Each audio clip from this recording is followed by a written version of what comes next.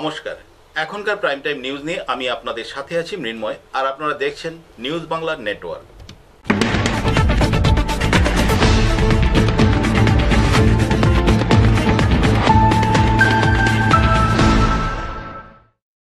এখন খবর বিস্তারিত। সাত সকালে প্রাতভ্রমণে বেরিয়ে ধর্মনগর শিলচরগামী মালবাহী ট্রেনে কাটা পড়ে মৃত্যু হলো এক যুবকের। জানা যায় মৃত ওই যুবকের নাম অভিমান দে, বয়স বত্রিশ বছর। মর্মান্তিক এই ঘটনাটি ঘটে ধর্মনগর মহকুমার কামেশ্বর কালীবাড়ি সংলগ্ন এলাকায়। ময়নাতদন্তের পর মৃতদেহ তার পরিবারের হাতে তুলে দেয় পুলিশ। এই ঘটনায় শোকের ছায়া বিরাজ করছে গোটা এলাকায়।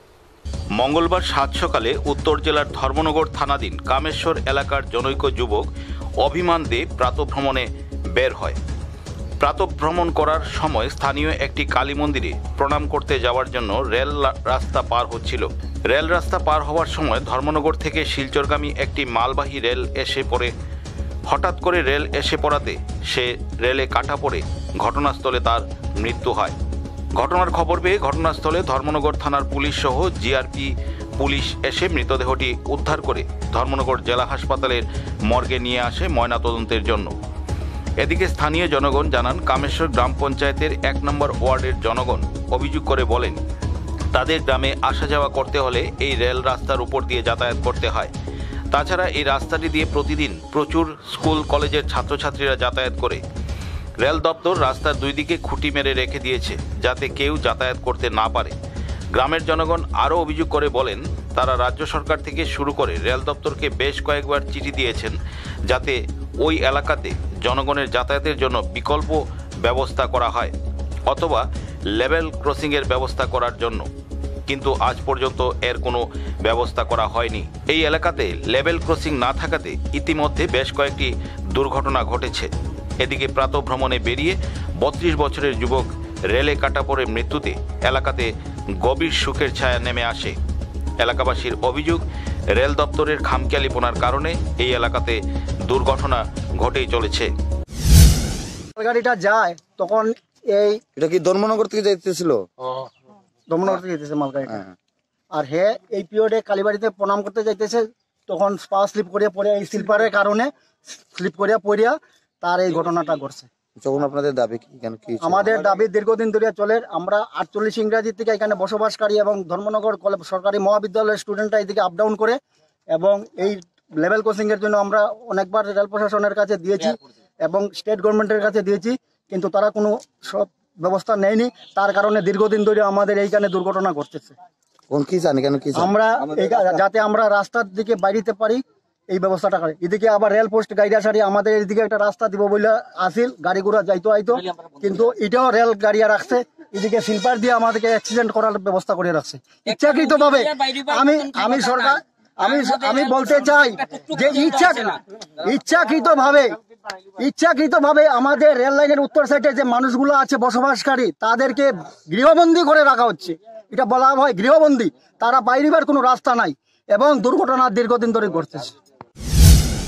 মানে এখানে তো রান ওভার হচ্ছে আমরা তো জিআরপি থানা থেকে তারা যখন রেল স্টেশন মাসার আমরা একটা রিকুয়েশন দিছে মানে ফর্টি ওয়ান অবলিক থ্রি ফিডারে ঠিক কাছে কামেশ্বর অমুক জায়গাতে একটা রান ওভার হয়েছে অমুক জায়গাতে একটা মালগাড়িরে বুঝ ট্রেনে এই কথা কই লিখে দিছে আমরা রিকুয়েশন দিছে এই রিকুয়েশন বলে আমরা এখানে এ পাইছি আইসি দেখছি আমরা ইনকোয়ারি করছি। ওভার আমরা ডেড বডি পাইছি। আমরা ডেড বডিটা এখন হসপিটালে শিফট করতেছে এখানে ম্যাডাম ওর নাম কি ছিল ওর? নাম হয়েছে অভিমান্য দে বত্রিশ বয়স আর ডাক নাম হচ্ছে অনুপ। স্থানীয় কটার সময় হয়েছে ঘটনাটা? ঘটনাটা হয়েছে আমরা তো ইনফরমেন্স হয়েছে ছয়টা।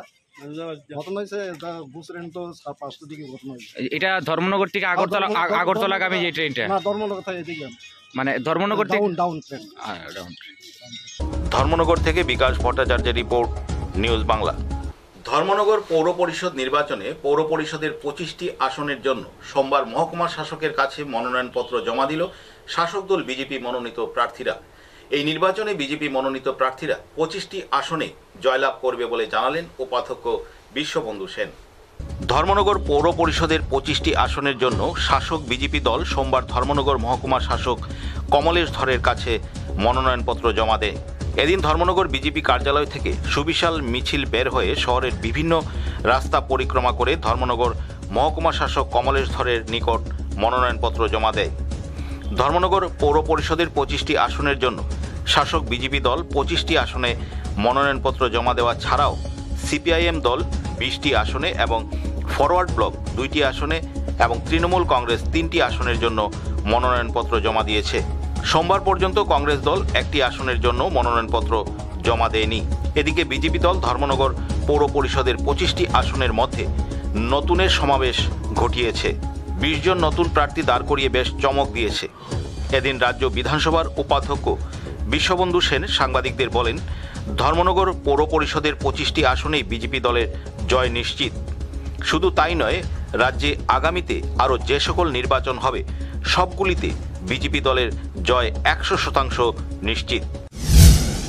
পঁচিশ জন প্রার্থী ধর্মনগর বিধানসভা কেন্দ্র এবং বাগবাসা বিধানসভা কেন্দ্র মিলে পঁচিশ জন। আজকে জমা দিচ্ছে। সুবিশাল র্যালি দেখে তো নিশ্চয়ই সাংবাদিক বন্ধুরা অনুমান করতে পারবেন, যে জয়ে তো আমরা একশো শতাংশ নিশ্চিত। এই কারণে নিশ্চিত যে আমাদের যে সাড়ে তিন বছর, পৌনে চার বছর চলল বিপ্লব দেবের নেতৃত্বে বিজেপি সরকার, সেই হিসাবে মানুষ এখন একটা সিদ্ধান্ত নিয়ে ফেলেছে যে শুধু পুরসভা নয়, যতগুলো নির্বাচন আগামী দিনে ত্রিপুরাতে হবে, সবগুলো নির্বাচনে ভারতীয় জনতা পার্টি বিপুল ভোটে জয়লাভ করবে। ধর্মনগরের নির্বাচনটা হচ্ছে ত্রিধারা। একটা হচ্ছে আমাদের মাননীয় প্রধানমন্ত্রী শ্রী নরেন্দ্র মোদীজি, উনি উনি যে সারা ভারতবর্ষের উন্নয়ন করছেন, বিপ্লব দেবের নেতৃত্বে সারা ত্রিপুরার যে উন্নয়ন হচ্ছে। ধর্মনগরে আমাদের সার্বিক যে উন্নয়ন, ত্রিধারা উন্নয়নের পরিপ্রেক্ষিতে মানুষ হান্ড্রেড পার্সেন্ট সিদ্ধান্ত নিয়ে ফেলেছে যে বিজেপি একশো শতাংশ জিতবে, পঁচিশটা পঁচিশটা আসনে আমরা জিতব, নিশ্চিত। ধর্মনগর থেকে বিকাশ ভট্টাচার্যের রিপোর্ট নিউজ বাংলা। এক যুবতীকে বলপূর্বক শ্লীলতাহানির অভিযোগে জনতার হাতে আটক এক যুবক। ঘটনা উত্তর জেলার কদমতলা ব্লক এলাকার ফুলবাড়ির আমবাগান এলাকায়। জানা যায় ওই যুবকের নাম সঞ্জয় দাস। বর্তমানে সে পুলিশি হেফাজতে রয়েছে। কুকর্ম করতে গিয়ে জনতার হাতে আটক এক যুবক। ঘটনা আজ সন্ধ্যা ছয়টা ত্রিশ মিনিট নাগাদ উত্তর জেলার কদমতলা ব্লক এলাকার ফুলবাড়ি আমবাগান এলাকায়। ঘটনার বিবরণে প্রকাশ, স্থানীয় এলাকার এক যুবতী মেয়ে সংসার প্রতিপালনের জন্য টেইলারিং এর কাজ করে আসছে দীর্ঘদিন থেকেই। কাজ শেষে প্রতিদিন সন্ধ্যায় বাড়ি ফিরে সে ধৃত যুবকটি বেশ কিছুদিন থেকেই মেয়েটির বাড়ি ফেরবার সময়ে পেছনে ধাওয়া করত এবং বিভিন্ন কুরুচিকর মন্তব্য দিয়ে উত্তেজিত করবার চেষ্টা করত মেয়েটিকে। অন্যান্য দিনের মতো আজও সেই লম্ফট যুবকটি মেয়েটির পিছু ধাওয়া করে, বাড়িতে প্রবেশের চেষ্টা করে এবং মেয়েটিকে বলপূর্বক স্ত্রীলতাহানির চেষ্টা করে বলে অভিযোগ। মেয়েটির চিৎকার, চেঁচামেচি শুনে আশপাশের লোকজন জড়ো হয় এবং তাকে আটক করে তার পরিচয় এবং ঠিকানা জানতে চাওয়া হলে প্রথমে সে এক এক জনকে এক এক জায়গার নাম বলে। এলাকাবাসীদের সন্দেহ হলে তাকে আটক করে জোর জিজ্ঞাসাবাদ করলে সে ঘটনার সত্যতা স্বীকার করে এবং তার নাম, ঠিকানা সঠিকভাবে বলে। জানা যায়, এই যুবকের নাম সঞ্জয় দাস। পিতা যুধিষ্ঠির দাস বাড়ি কদমতলা পঞ্চায়েত এলাকার এক নম্বর ওয়ার্ডে। শম্পা নাথ কল্পিত নাম যুবতীর বাড়ি ফুলবাড়ি এলাকায়। স্থানীয় লোকজন তাকে আটক করে চুরাইবাড়ি থানার পুলিশের হাতে তুলে দিয়েছে। একে তো এলাকার বর্তমান পরিস্থিতি উত্তপ্ত, অন্যদিকে এই ঘটনায় চাপা উত্তেজনা বিরাজ করছে গোটা এলাকা জুড়ে। এদিকে এই ঘটনায় অভিযুক্ত ধৃত সঞ্জয় দাসের কঠোর শাস্তির দাবি জানিয়েছে এলাকাবাসী। আজকে ঘটনাটা হইল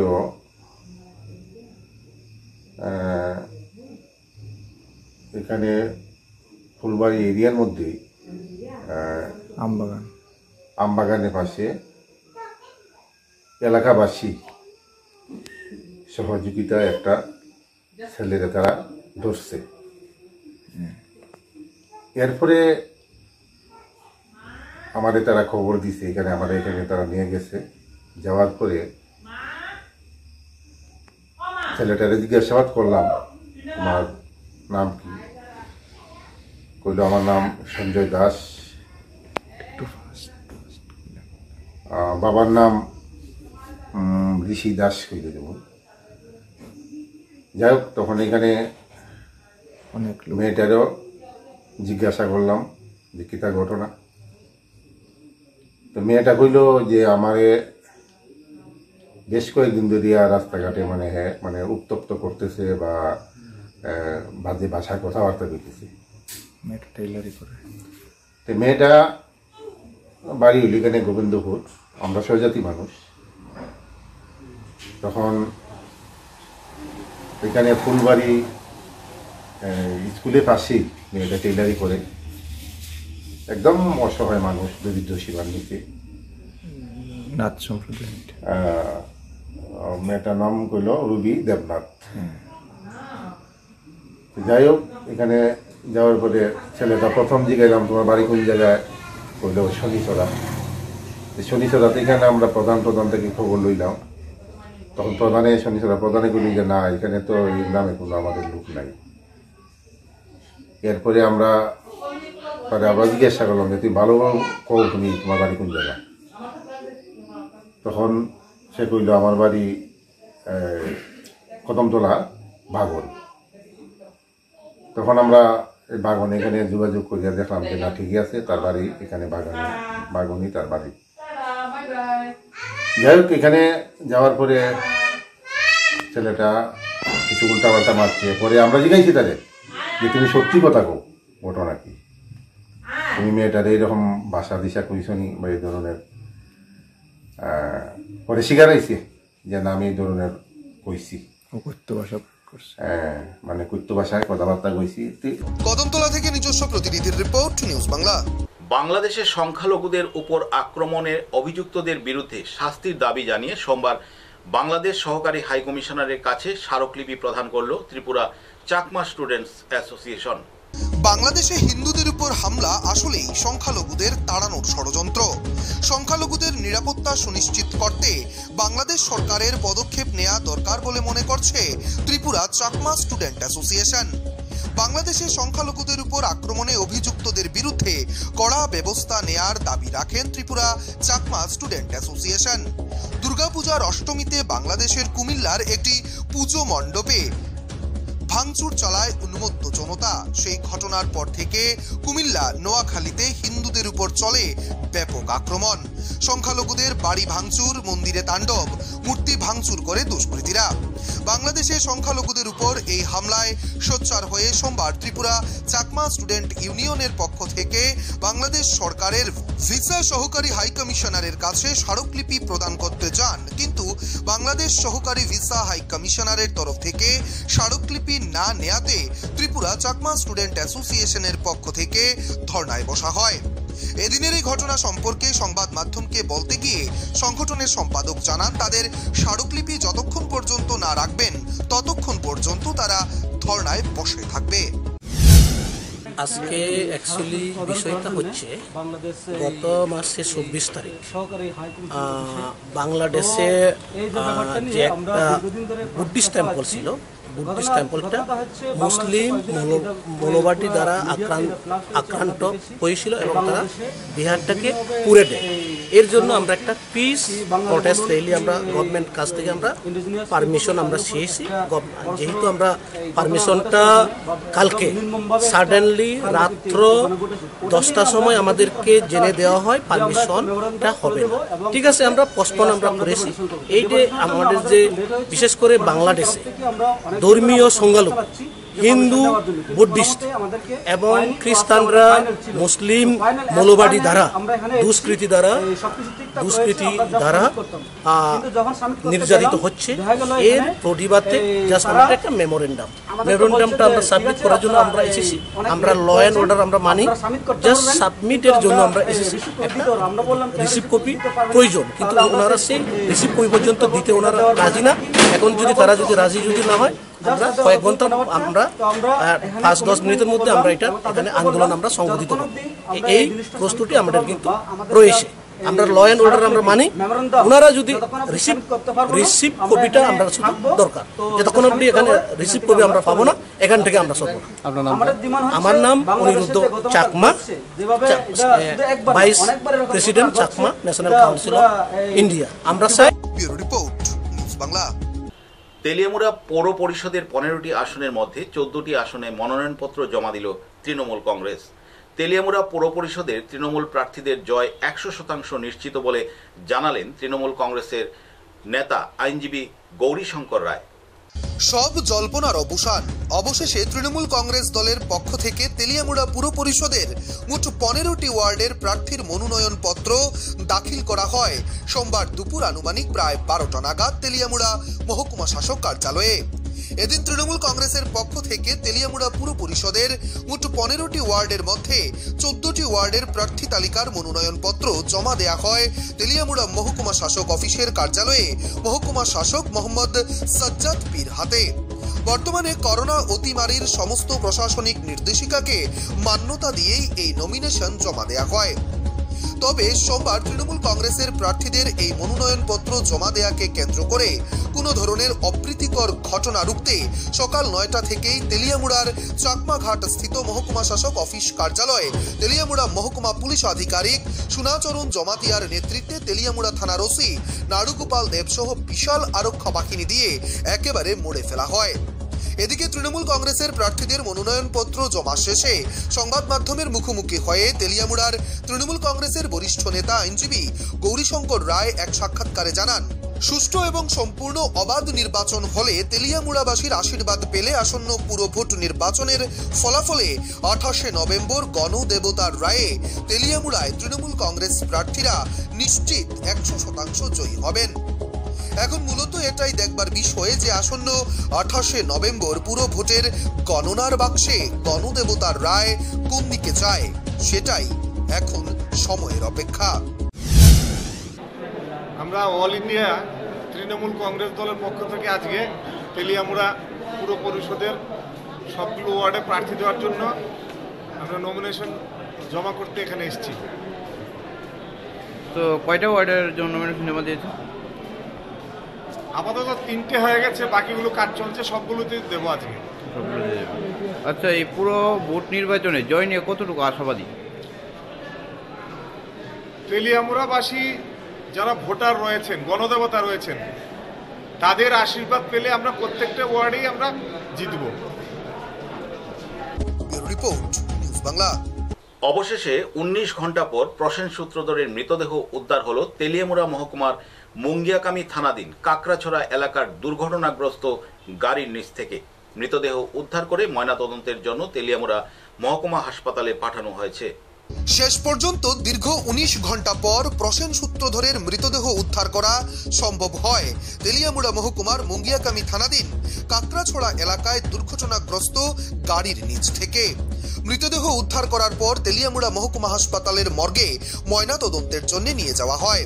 ময়না তদন্ত শেষে পরিবারের কাছে মৃতদেহ তুলে দেয়া হবে। এদিকে এই দুর্ঘটনার খবর পেয়ে ঘটনাস্থলে ছুটে আসেন এগারো মহারানী স্বশাসিত জেলা পরিষদের নির্বাচিত সদস্য কমল কলই তিনি এই ঘটনায় দুঃখ প্রকাশ করেন। তিনি আরও জানান, তাদের বিরুদ্ধে যে অভিযোগ আনা হয়েছে তা মূলত ভিত্তিহীন। তিনি আইপিএফটির দিকে অভিযোগ তুলে বলেন, এই দলের লোকেরা তিপ্রামথার নাম বদনাম করবার জন্যে এই ধরনের চক্রান্ত করছে। বর্তমান স্বশাসিত জেলা পরিষদের সদস্যদের চাইছে রাজ্যের উন্নয়ন করতে। উন্নয়নের বাধা দানকারীদের বিরুদ্ধে কঠোর পদক্ষেপ গ্রহণ করবার দাবিও রাখেন কমল কলই এদিকে উদ্ধার কাজে ব্যবহৃত দুটি ক্রেন আনা হয়। দীর্ঘ প্রায় সাড়ে উনিশ ঘণ্টার চেষ্টার পর মৃতদেহ উদ্ধার করা সম্ভব হয়েছে। নোনাসরা কাকড়াসরা রাস্তায় কাকড়াসরা থেকে নোনাসরা রাস্তা যাওয়ার পথে গতকাল সন্ধ্যায় একটা জেসিপি দুর্ঘটনাগ্রস্ত হয়। সেই দুর, জেসিপি দুর্ঘটনাগ্রস্ত হওয়াতে জেসিপির চালক সূত্রধর, সাম নাম প্রসেনজিৎ সূত্রধর নামে আমবাসার কুলাইয়ের বাসিন্দা। ওনার প্রাণ হারান। তো গতকাল থেকেই প্রশাসন এখানকার ফায়ার সার্ভিস এবং স্থানীয় পুলিশ প্রশাসন এবং যারা কাজে যে বরাদ্দ পায় এখানকার রুরাল ডেভেলপমেন্টের পঞ্চায়েতের আহ, ঘর নির্মাণের কাজ চলছে। সেই ঘর নির্মাণের কাজ করতে গিয়ে ফেরার পথে গতকালকে এখানে দুর্ঘটনাগ্রস্ত হয়ে মারা যায়। তো আমরা শুনতে পেয়েছি, শুন- আজকে চলে আসলাম। তো চোখের সামনেই বডি রিকভার হলো বডি এখন পিএমই নিয়ে যাওয়া হচ্ছে, পুলিশ জানালো আর কি, এই। এখন এটা তো কে করেছে আমার কাছে তো না প্রমাণ নেই। যদি এরকম কোনো অভিযোগ থাকে যে কেউ যদি কাজ করার ক্ষেত্রে বাধা সৃষ্টি করে, আমরা আমরা, আমাদের তীব্রমথা তো আমি মনে করি না। কিন্তু আমি মনে করি এখানকার কিছু থাকতে পারে আইপিএফটি আইপিএফটির কিছু সমর্থকরা থাকতে পারে হয়তো বা তারা ত্রিপুরা মথার নাম নিয়ে ত্রিপুরা মথাতে ঢুকেও যদি এরকম ত্রিপুরা মথার নামকে কলঙ্কিত করার জন্য এরকম কাজ করে থাকে, থাকতেও পারে। তো আমরা এটা আমরা একটু তদন্ত তদন্ত করে দেখব যদি দোষী পাওয়া যায়। কেউ যদি ডেভেলপমেন্টের কাজে যদি বাধা সৃষ্টি করে, তা আমরা প্রশ্রয় দেব না। আগের থেকেই আমাদের মহারাজাও বলেছেন, আমরাও বরাবরই বলে থাকি কোনো কাজে যদি ডেভেলপমেন্টের কাজে যদি কেউ বাধা সৃষ্টি করে তা আমরা মেনে নেব না। তা আমরা তারপর বিরুদ্ধে আমরা এক- শক্ত একটা পদক্ষেপ গ্রহণ করব। Report news Bangla. বাংলাদেশে হিন্দুদের উপর আক্রমণের ঘটনাকে কেন্দ্র করে ত্রিপুরাতে যে অস্থির পরিবেশ তৈরি হয়েছিল তা খতিয়ে দেখতে সুপ্রিম কোর্টের আইনজীবী ও মানবাধিকার কমিশনের এক দল ত্রিপুরায় আসে। তদন্ত শেষে সোমবার আগরতলা প্রেস ক্লাবে সাংবাদিক সম্মেলন করে ঘটনার বিস্তারিত তুলে ধরেন দলের সদস্যরা। সুপ্রিম কোর্টের আইনজীবী এবং মানবাধিকার কমিশন ত্রিপুরায় মুসলমানদের বিরুদ্ধে সহিংসতার তদন্ত করছেন এবং তদন্ত দল দিল্লিতে বিশদ বাস্তব তদন্ত প্রতিবেদন জারি করবেন এবং তদন্তকারী দল, রাষ্ট্রপতি এবং প্রধান বিচারপতি এবং বিভিন্ন কমিশনের কাছে বিস্তারিত বাস্তব তদন্ত প্রতিবেদন পাঠিয়ে দেবেন। এ নিয়ে রাজধানী আগরতলার প্রেস ক্লাবে এক সাংবাদিক সম্মেলনের আয়োজন করা হয় বিষয়টিকে নিয়ে। এদিন তদন্তকারী দলের এক কর্মকর্তা সংবাদ মাধ্যমকে জানান, ত্রিপুরায় মুসলমানদের বিরুদ্ধে সহিংসতার ঘটনার পর যেভাবে পরিস্থিতি তৈরি হয়েছে তা থেকে বোঝা যায় যে সরকার যদি চাইতো, তবে এমন ভয়ঙ্কর ঘটনা ঘটতই না। এটা সরকারের সম্পূর্ণ ব্যর্থতা এবং বিজেপির রাজনৈতিক স্বার্থ। হিংসাত্মক দেশপ্রেমের মতাদর্শকে ধরে রেখেছে এবং জনসাধারণের মধ্যে এর সুস্পষ্ট সমর্থন রয়েছে বলে জানান তারা। তাছাড়াও ভারতের সুপ্রিম কোর্ট, নয়াদিল্লি এবং মানবাধিকার সংস্থাগুলো আইনজীবীদের একটি যৌথ তদন্ত দল দ্বারা একটি বাস্তব তদন্তের প্রাথমিক তথ্যগুলো সামনে এসেছে। তদন্ত দলটি একটি যৌথ প্রেস বিবৃতি জারি করে উল্লেখ করেছে যে, ভারতের সুপ্রিম কোর্ট, নয়াদিল্লি এবং মানবাধিকার সংস্থার আইনজীবীদের একটি তদন্ত দল সংক্ষুব্ধ পক্ষের সঙ্গে দেখা করে এবং ঘটনার সঙ্গে সম্পর্কিত তথ্য সংগ্রহ করে। তদন্ত দল উপসংহারে পৌঁছেছে যে বাংলাদেশে হিন্দু সংখ্যালঘুদের উপর হামলার ঘটনার প্রতিবাদে ত্রিপুরার একান্নটি স্থানে বিক্ষোভ অনুষ্ঠিত হয়। বিক্ষোভের পর শুরু হয় সহিংসতা। তদন্ত দলের সামনে যে সমস্ত তথ্য এসেছে তা প্রাথমিকভাবে ইঙ্গিত করে যে সরকার সময় মতো যথাযথ পদক্ষেপ নিলে ঘটনাটি এত ভয়াবহ রূপ ধারণ করত না। তারা বলছেন যে তদন্ত দল শীঘ্রই দিল্লিতে তার বিশদ প্রতিবেদন প্রকাশ করবে এবং এই প্রতিবেদনটি ভারতের রাষ্ট্রপতি সুপ্রিম কোর্টের প্রধান বিচারপতি কেন্দ্রীয় স্বরাষ্ট্র সচিব সংখ্যালঘুদের জন্য জাতীয় কমিশন এবং জাতীয় মানবাধিকার কমিশনের কাছে পাঠানো হবে বলেও অভিমত ব্যক্ত করেন তারা कि जितना भी नुकसान हुआ है मॉ- मॉस्क का मस्जिद का डिमोलिशन हुआ है या फिर आग लगाई गई है या तोड़ा गया है मैं आपको हमारी जो मांगे हैं वो मैं पढ़ के बताना चाहूंगा सरकार हाईकोर्ट के सेवानिवृत्त जज की अगुवाई में जांच कमेटी बनाकर पूरी घटना की जांच करवाए पीड़ितों की शिकायत पर आवश्यक तौर पर अलग अलग एफ लिखी जानी चाहिए इस उपद्रव की वजह से जिन लोगों के वाणिज्यिक प्रतिष्ठानों को आर्थिक नुकसान हुआ है, उन सभी को राज्य सरकार द्वारा उचित मुआवजा तय किया जाए व उसकी भरपाई जल्दी की जाए ताकि ये बेगुनाह अपनी ज़िंदगी को दोबारा से पटरी पर ला सकें और खत्म हो चुके उनके व्यापार और धंधे सुचारू रूप से पुनः शुरू हो सके। आगजनी और तोड़फोड़ में प्रभावित हुए धार्मिक स्थलों को सरकार अपने खर्च पर दोबारा बनवाए। हिंसा होने की आशंका के बावजूद कठोर कदम नहीं उठाने के कारण हुई हिंसा में थानाधिकारी की ज़िम्मेदारी तय की जानी चाहिए। उनको तुरंत अपने पद और थाने से हटाकर नया थानाधिकारी लगाया जाना चाहिए। रैली में पैगंबर मोहम्मद के अपमान करने वाले नारे जिन्होंने लगाए, उन व्यक्तियों और संगठनों के विरुद्ध कठोर कार्रवाई की जाए ताकि दोबारा राज्य का सौहार्द वातावरण खराब नहीं हो सके। सोशल मीडिया पर झूठे और भड़काऊ मैसेज वायरल करने वाले लोगों और रैली के लिए बार बार लोगों को उकसाने वाले और हंगामा करने वाले सभी लोगों को संगठनों पर मुकदमा दर्ज हो, सख्त से सख्त कार्रवाई हो। और जो भी इस उपद्रव में दोषी हैं और लूटपाट और आगजनी में लिप्त हैं, उनकी जाँच हो और सभी अपराधियों के खिलाफ बिना भेदभाव के फास्ट ट्रैक अदालती कार्रवाई होनी चाहिए। त्रिपुरा पुलिस ने उन बाहर के लोगों के खिलाफ एफआईआर रजिस्टर क्यों नहीं करी? उनको जेल में क्यों नहीं डाला? और अब तो हम खुद अपनी आँखों से देख के आए हैं, हमारे सब साथी अपनी आँखों से देख के आए हैं कि मस्जिदों को जलाया गया है, कुरान शरीफ जलाया गया है, पैगंबर साहब की शान में गुस्ताखी की गई है। उसमें एफआईआर रजिस्टर्ड क्यों नहीं हो रही अभी तक? और अगर एफआईआर रजिस्टर्ड हुई तो उसकी कॉपी पत्रकार भाइयों के पास होनी चाहिए थी और लोगों को अरेस्ट किया जाना चाहिए था। आज आप सब देखते हैं कि ट्रैफ़िक पॉल्यूशन अगर हम करते हैं तो एक कांस्टेबल वीडियो रिकॉर्डिंग करके बना लेता है कि इन्होंने रेड लाइट जंप किया। तो जब इतना बड़ा ह्यूमन राइट्स वॉल्यूशन हो रहा था तो क्या पुलिस ऑफिसर से कैमरे ऑफ़ हो चुके थे?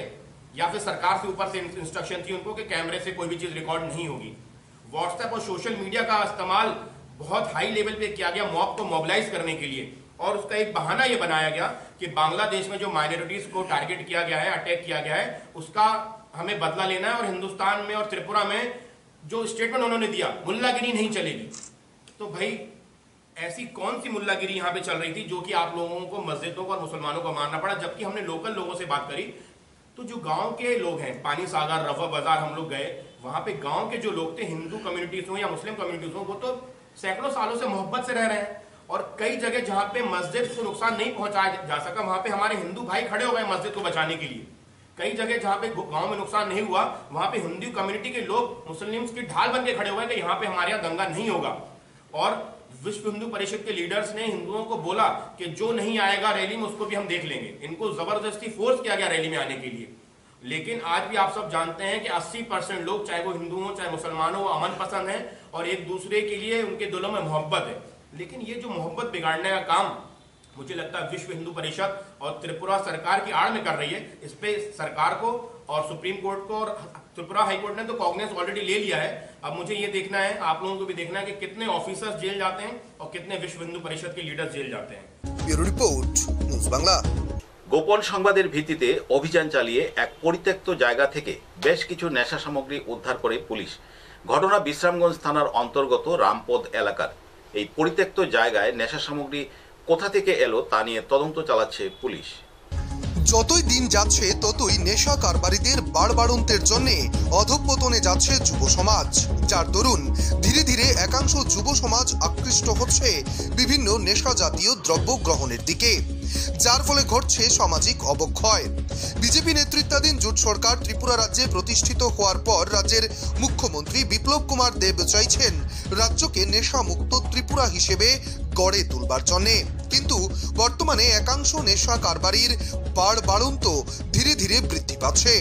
প্রায় প্রতিদিনই রাজ্যের শহর, গ্রাম, অলিতে গলিতে নেশার দিকে অগ্রসর হচ্ছে একাংশ যুব সমাজ। এদিকে সারা রাজ্যের বিভিন্ন জায়গার পাশাপাশি বিশালগড় মহকুমায়ও বৃদ্ধি পাচ্ছে নেশা কারবারিদের বাড়বাড়ন্ত তবে রবিবার গভীর রাতে হঠাৎই বিশ্রামগঞ্জ থানার পুলিশ বিভিন্ন নেশা সামগ্রী উদ্ধার করতে সক্ষম হয়। বিশ্রামগঞ্জ থানার অন্তর্গত রামপদ এলাকার একটি পরিত্যক্ত জায়গা থেকে।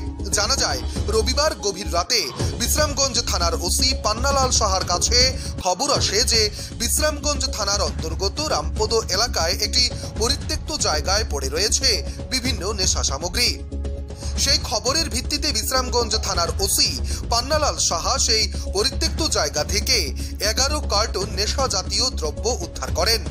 তবে কোথা থেকে এই নেশা সামগ্রীগুলো এই পরিত্যক্ত জায়গায় এসেছে তার কোনো খবর পাওয়া যায়নি। তবে বিশ্রামগঞ্জ থানার পুলিশ এই নেশা সামগ্রীগুলো উদ্ধার করে নিয়ে যাবার সময় তাদের গাড়ি নষ্ট হওয়ায় উদ্ধারকৃত নেশা সামগ্রীগুলো বিশালগড় থানায় রেখে যায়।